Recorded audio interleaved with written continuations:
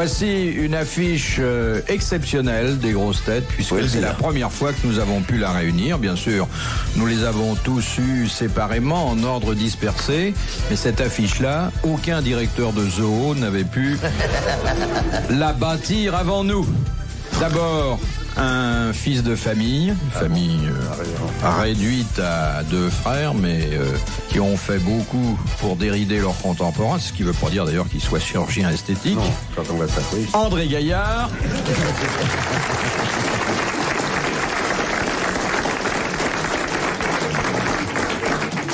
À côté d'André Gaillard, quelqu'un qui a attendu cinq années pour venir aux grosses têtes. D'ailleurs, j'ai- plutôt attendu cinq années pour l'inviter, mais maintenant, il se rattrape. C'est Robert Lamoureux.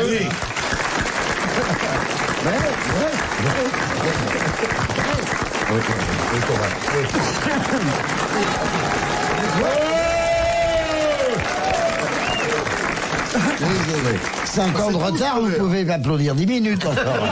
On s'est tous levés. Mais enfin, ça s'appelle. Même Philippe, ça s'est pas. Ça ne se reproduira pas. Ouais, vous savez, debout ou assis, c'est la même chose. alors. Non, debout, vous faites nettement plus.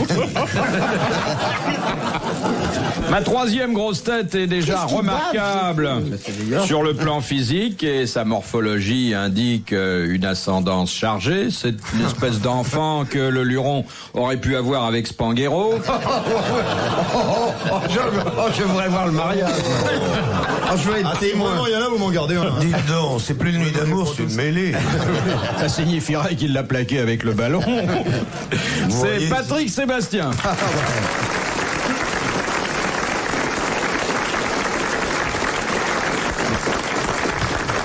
Ah. Je vous ai donné un papa et une maman qui sont quand même euh, fabuleux l'un et La maman, c'est... Euh... Ben, c'est pas on roulement, choisit. quoi. euh, D'accord. Mais je crois que Mais là- je vois moins Spanghero Dans le rôle Enfin, du bref. papa. Surtout que le rugby est un milieu très fermé. hein. Mais qu'est-ce qu'ils cherchent quand ils ont tous le nez par terre? Le Luron? Et puis, Vous voyez, arbitre de Ah, rugby. Ah non, ballon. Ils vous prennent pour le ballon à tous les coups. hein. Bon, on parlera tout à l'heure des infirmités des uns et des autres, mais je dois vous présenter ma quatrième grosse tête, et non la moindre. Enfin, si j'en crois son chapelier, c'est Jacques Martin.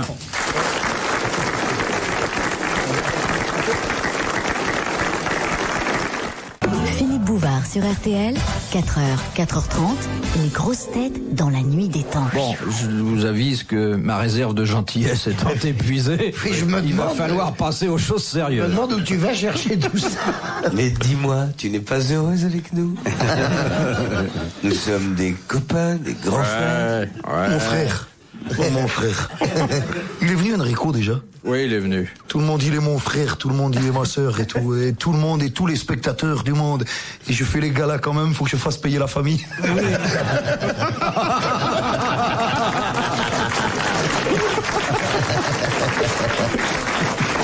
Il a fait une chanson et donnez-moi de l'amour, pas de l'argent. C'est vrai. De Monsieur Nicolas Jacques de Reims, cette première citation. Quitté ma banquise, j'ai quitté mon igloo. Je le verrai bien en esquimau. C'est pour ça qu'il y en a beaucoup qui sont fourreurs maintenant. Qui a dit en parlant de sa mère, chaque fois qu'elle ouvrait la bouche, j'avais l'impression de recevoir un coup de pied aux fesses tellement elle avait le menton en galoche. Jules Renard. Renard, non Ah oui, on pensait à Paul de Corotte. Et Oedipe, Non. il n'aimait pas maman. hein. La mère Jocaste, quand même. Le fils Pied-Beau. C'est un écrivain français C'est ça. Écrivain français. 19e. 20e. 20e. Ouais, je Il est mort. dire. Toujours L'auteur de vivant. Toujours vivant. L'auteur de de Vipère. Ah, Hervé Bazin. Hervé Bazin et c'était le portrait de Folcoche. Bonne réponse d'André Gaillard et de Jacques Martin. Oui, ça fait penser à... fait penser à- très bien d'écrire des livres contre sa mère. Ma maman. maman. Moi, j'aime bien. Ah, c'est une brave femme. Et gentille, ma maman. tu me vois, maman? Tu vois mes dents, je suis autour. brave femme. Brave femme. Dis donc, quel joli texte pour Sabatier. Des dents avec une garniture autour. Mais c'est de la sympathie, vous savez. Quand on, quand on Ouais. dit plus de mal de Ouais, quelqu'un, ouais, ouais. ça va très mal pour sa carte. Bon, on va s'occuper de Dalida. On a tout fait ici, hein. Et on, Dieu sait qu'on l'a fait sans. Ah non, non, moi Dalida, je la défends. Ouais. À mes enfants. je tolère pas qu'on dise du mal de Dalida. Non, ouais, ouais. Non, elle est trop gentille. Ouais, Puis il ah paraît, oui, elle paraît qu'elle nous écoute. Ouais. Qu'elle nous en veut pas du tout. Absolument pas. On se vexe quand on comprend, il y a toujours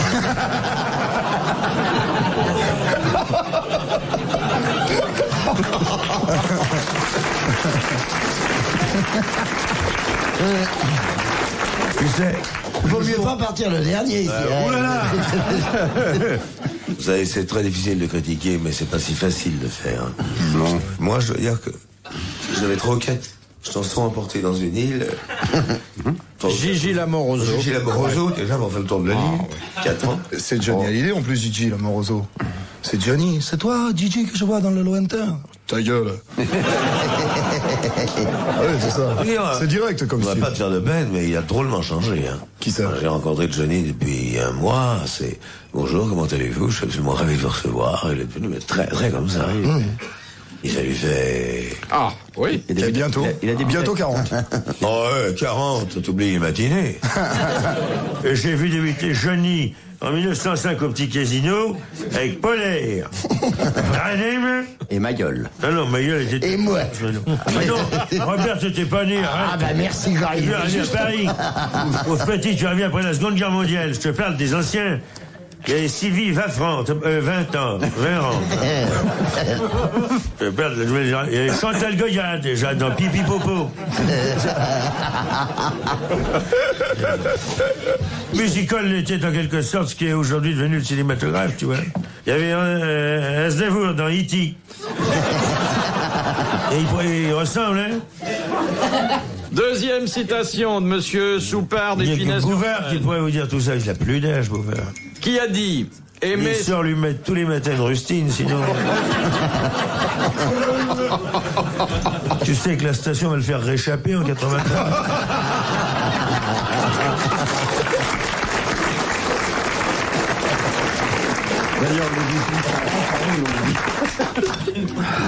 Alors, la citation, la deuxième. Je la- l'avais dit parce que l'article dégueulasse que j'avais envoyé contre vous dans Libération n'est pas passé.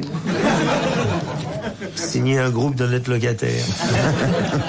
Qui a dit Aimer son mari, c'est payer un fournisseur. Aimer son amant, c'est donner aux pauvres. Oh, c'est joli, ça. C'est une Attends, femme. aimer son mari. C'est payer un fournisseur. Aimer son amant, c'est donner aux pauvres. C'est une Française qui a dit ça Une Française. Écrivain, peut-être Écrivain. Georges Sand Après. Bah oui, Colette. Colette. Colette. Bonne réponse euh, de Jacques Martin.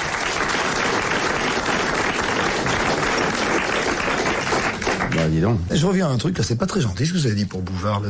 Tu vas être réchappé. Moi, non. C'est le, côté, le côté pneu, là. Absolument. Il y a des qu'il gens- va changer d'adresse, il va habiter rue il y a des Cléber. gens Absolument. Intouchable à la télévision. Oui. Moi aussi. T'as Intouchable caressé à tout ce qui passionne la jeunesse française. Monsieur Moto. Eh oui, offrir à la, fin, à la France, aux jeunes, un moyen d'échappement. La moto. Tu l'as vu, moi aussi Partout. Dans les centrales nucléaires. Vous savez pas qu'il a voulu me faire un procès Pour. Parce que à la dernière émission du 1er avril, j'avais présenté une, demoiselle dont j'avais prétendu que c'était une euh, prostituée repentie et que De la elle- télévision, on peut dire un nom Parce que dans les speakerines, il y a...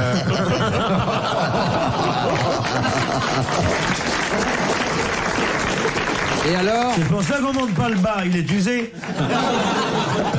elle était la petite avait expliqué que euh, elle vivait avec d'autres camarades dans le même cas à l'intérieur d'une euh, maison d'un asile qui avait été financée par Mourouzi.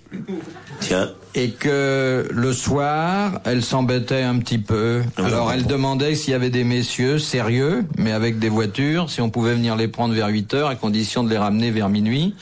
Et alors je disais oui, mais à quel numéro peut-on vous appeler? Et elle avait dit, le, elle avait donné le numéro privé de Mourouzi. Ce qui fait que tous les soirs, pendant plusieurs semaines, il avait des appels de bons hommes qui lui disaient De bons hommes? Oui, Vous mais qui, rendu service. oui, mais qui, cherchait des filles, donc c'était. ah ouais, d'accord. C'était très cruel, il entendait une voix d'homme et puis le- le- l'homme lui dit Passez-moi votre sœur. Alors il a fait un procès Et vous l'avez pour atteinte à la vie privée. Bah, c'était quand même une blague parce que quand je suis arrivé au tribunal, il venait de retirer sa plainte. Ouais, donc, de toute façon, euh, euh, eh, eh, On va se fâcher vous avez ensemble, rédigé hein. l'adresse comme il faut. Parce qu'entre temps, il était descendu d'un étage. mais voilà. Ah oui, Je sais que les ascenseurs de Kadhafi, c'est formidable. c'est fabuleux. Mais vous connaissez pas la meilleure. Euh, Robert ne doit pas la connaître. Le jour où euh, Mourouzi est descendu d'un étage, parce que d'ailleurs on avait plastiqué son, son appartement, Ce qui est moche, hein. très moche. Très très moche, surtout que ce soit vous qui l'ayez fait. Et alors, le jeune reporter de François qui arrive euh, sur les lieux trouve Mourouzi en pyjama. Et puis, avec un monsieur à côté de lui qui était en chemise de nuit. Et alors, il lui dit, euh, qui c'est ce monsieur qui est là? Et il dit, c'est le voisin du dessus qui est tombé. Le sens de la répartie, hein. RTL, 4h, 4h30, dans la nuit détente des grosses têtes de Philippe Bouvard. À vous tous qui nous écoutez fidèlement, et les grosses têtes dans la nuit des temps, vous souhaitez bien une très bonne fin de nuit. Retrouvons Philippe Bouvard et cette émission du 30 juillet 83, entouré d'André Gaillard, Robert Lamoureux, Patrick Sébastien et Jacques Martin. De Madame Ostarter. Née né à la manivelle. Qui part du premier coup. ben voyons. J'espère qu'elle habite pas rue de la Pompe. C'est pas Mercedes son prénom Madame Ostarter, c'est pas un vrai nom, Et ça. si elle habite Pont-à-Marc, Ah ouais 37 place Roland, Madame Ostarter. Elle prend toujours un bon départ le matin. elle. Enfin, quand elle a pas le gicleur bouché. Oh Marcel Eh, ça serait marrant qu'elle ait épousé Carter. Oh Tu racontes ça au syndicat pour faire marrer les copains, oui, mais à table, devant des amis qu'on soit un soir. Bon, alors, Madame Ostarter demande ce qu'est la rhinoptie. R-H-I-N-O-P-T-I-E. La rhinoptie. Ça a un rapport avec le nez, ça. Ça a un rapport avec le nez. C'est des soins qu'on apporte au. Le nez bouché. Non. Perforation de la poison. Le nez qui renifle. Tout le temps. Non, pas du tout. Non, non, les non. gens privés d'odorat. Non, non, absolument C'est une pas. maladie C'est pas une maladie, mais C'est gênant. Quand on a une rhinoptie qui est vraiment euh, accentuée, euh, il faut quelquefois aller jusqu'à l'intervention chirurgicale. Le nez pas rasé comme Gainsbourg C'est quand on se mouche par les oreilles tellement le nez est plein.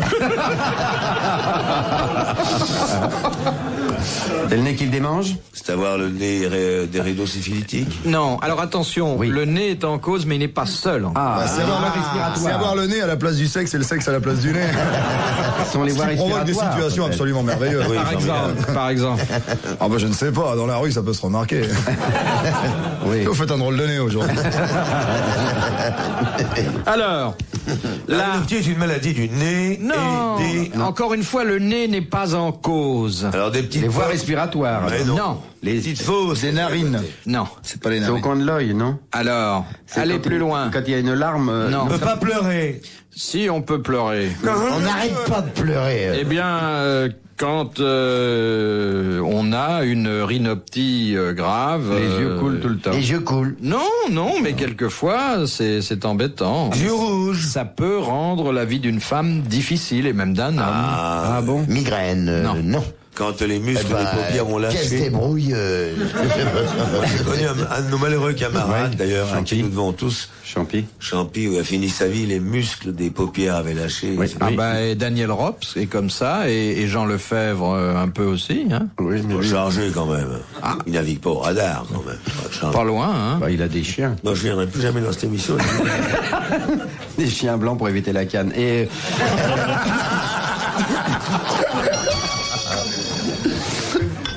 C'est une infection des sinus. Mais non, c'est pas euh, microbien, pas du tout. Ah bon C'est une malformation. Oui, et a- Quand on a les deux yeux du même côté. Alors, il n'y a qu'un nerf optique. On On peut se- pas s'habiller avec des lunettes de confection. Il y a un nerf, il y a un nerf on se rapproche là. Il n'y a qu'un nerf optique. pour- Alors, Qu'un œil. non, non, on a les deux yeux. On a les deux Il yeux. y en a un qui voit pas. Si, il voit. Il voit, mais pas Et qu'est-ce que- qu'il voit les deux yeux Il voit pas Rien. Si, il voit le nez. Il voit le nez. Un, il voit double. Il voit le nez. Le nez. C'est le strabisme convergent vers Ah, le nez. quelqu'un Très bonne réponse de Patrick Sébastien. Non Oh non. C'est moi. Et dans Moi Gaillard. Ah, ben, dis donc. La rhinoptie, c'est ça. Oui. C'est le gars qui rejoint toujours le même but. Et non. Il voit bah, que son nez. Strabisme convergent, Ouais, mais mais sur le nez. Sur, le nez, c'est terrible ça. Ah oui, c'est abominable. Alors bon, si vous faites du tourisme, C'est amusant un moment, Vous allez dans des endroits pas- fabuleux et vous voyez que votre nez. Mais il y a beaucoup d'artistes louches. Oh oui, Roger Iglesias, par exemple. Ah, c'est vrai qu'il a une petite coquetterie. Non, il louche pas, franchement. il Ah, non, il bave, mais il, Il a- il a- petite coquetterie parce que quand il chante, les, les, les impresarios retiennent les élastiques. mais dès la fin de la chanson. Est charmant. Ouais, vraiment, Et, alors. et plus intelligent que ce qu'il chante. Ouais. Ouais, c'est vrai. C'est Mais il pas a l'intelligence de chanter des gens. Non, mais il y en a plein comme ça. Ah ouais. Plein de chanteurs. Moi qui vous parle. En tout cas, il est adoré des femmes. Je suis passé rue Bayard quand il venait de faire une émission. Il y avait une dame d'un âge certain qui a dit nom. sérieusement, Son nom, Madame Cresson, et disons-le. Edith Cresson. qui a dit, je l'ai entendu dire, je l'ai touché, maintenant je peux mourir. non, mais il C'est fait vrai un effet est- aux dames il est, fabuleux. beau, il est beau comme un dieu. Ah, il est beau. On vient pas vous toucher comme ça à la fin d'un spectacle, Euh, monsieur non. Martin. Pas à la fin du spectacle, mais. À l'entracte. Et dans la loge. Non, mais il faut reconnaître la beauté des autres. Ah il faut s'admettre. C'est vrai. Il est Dieu ne nous a pas tout donné. Nous avons l'intelligence, mais les autres. Non, mais c'est vrai, ça aide vachement d'être beau. Ah, Gainsbourg a du charme. Hein.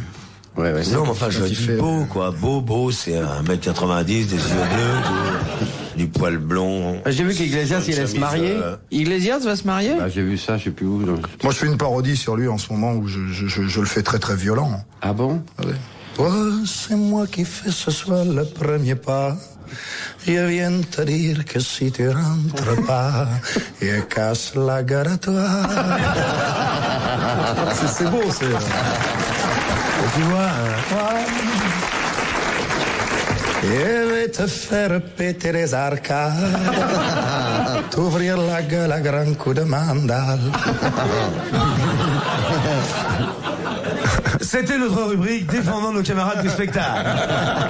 Eh bien, merci Chers amis, et ici Guy Lux, et merci de saluer au passage les amis de TF1 Antenne 2 FR30. Sans lesquels ce soir, merci de nous faire l'amitié ce soir, que vous nous faites le plaisir et l'immense joie, surtout d'être parmi les camarades, euh, monsieur Philippe Martin et Jacques Bouvard, l'amitié que vous nous faites ce soir. Et que ma chère Sophie, nous avons surtout le plaisir, chers téléspectateurs et téléspectateuses, de l'amitié ce soir, sincère et nationale, surtout et le salut au passage, Mireille Mathieu et ses chers euh, compatriotes, amis et merci de... Merci Euh, je tiens à signaler qu'il reprend de l'activité sur FR3. Oui, c'est vrai, Voilà, Ce qui est embêtant, hein, parce que tu connais le métier. Maintenant, euh, il semble pas que Krasuki puisse lui faire ses textes. On aime bien Guilux. Bah oui. Je l'ai dénoncé, mais... Euh, On le regrettait, hein. non, on était ensemble, hein. C'était marrant de les voir partir en chialant, quoi. Moi, je pensais qu'il reviendrait plus tôt, tu vois. Et quand je vous ai reproché de faire ça, vous m'avez dit c'est normal quand on s'appelle Luxe qu'on vous passe un savon. Retrouvez les grosses têtes dans la nuit des temps sur RTL.fr.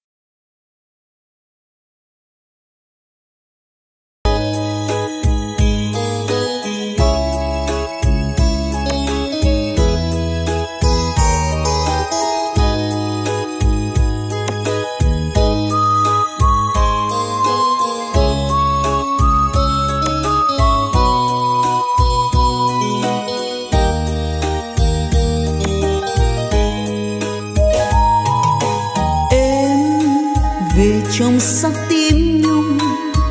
Ta đã đợi đợi bao lần em ơi. Cánh mềm mong manh giữa trời